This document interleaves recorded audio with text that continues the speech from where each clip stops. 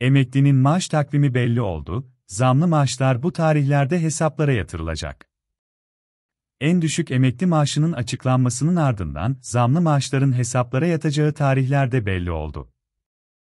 En düşük emekli maaşının 12.500 Türk Lirası olarak açıklanmasının ardından zamlı maaşların hesaplara yatacağı tarihlerde belli oldu.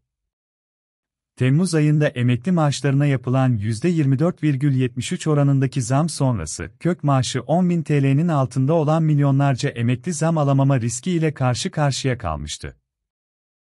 Adalet ve Kalkınma Partisi Grup Başkanı Abdullah Güler'in, en düşük emekli maaşının 12.500 TL'ye artırıldığını duyurmasıyla 3 milyon 707 bin emeklinin de maaşı yeniden belirlenmiş oldu. Ancak emekliler bu kez de zamlı maaşlarının ne zaman hesaplarına yatacağını beklemeye başladı. Maaşlar ne zaman yatacak? Maaş ödemeleri 17 Temmuz tarihi itibariyle emekli vatandaşların hesaplarına yatırılmaya başlanacak.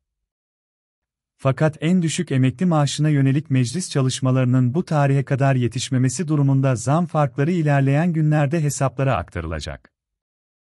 4A Sosyal Sigortalar Kurumu emekli maaşı ödeme tarihleri. Tahsis numaralarının son rakamı 9 olan emekliler Temmuz'un 17'sinde. Tahsis numaralarının son rakamı 7 olan emekliler Temmuz'un 18'inde. Tahsis numaralarının son rakamı 5 olan emekliler Temmuz'un 19'unda. Tahsis numaralarının son rakamı 3 olan emekliler Temmuz'un 20'sinde. Tahsis numaralarının son rakamı 1 olan emekliler Temmuz'un 21'inde. Tahsis numaralarının son rakamı 8 olan emekliler Temmuz'un 22'sinde. Tahsis numaralarının son rakamı 6 olan emekliler Temmuz'un 23'ünde. Tahsis numaralarının son rakamı 4 olan emekliler Temmuz'un 24'ünde.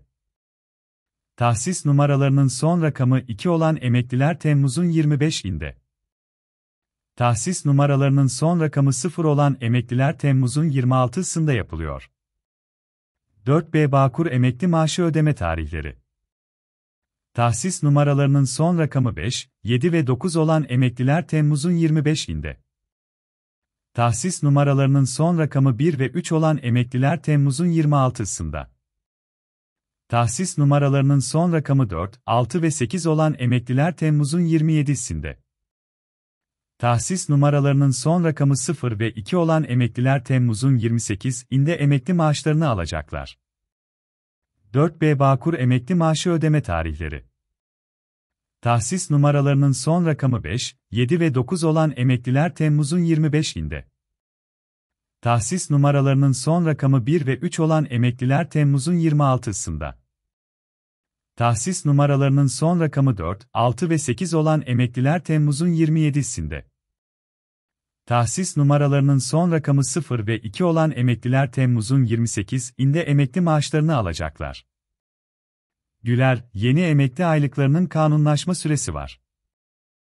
Yürürlük süresini herhangi mağduriyete neden olmaması için düzenleme yapacağız. Önce komisyon, komisyondan sonra Meclis Genel Kurulun geçecek. Kanunlaştıktan sonra yürütme maddesini bir mağduriyet oluşturmayacak şekilde yarından itibaren düzenlenecek, diye konuştu.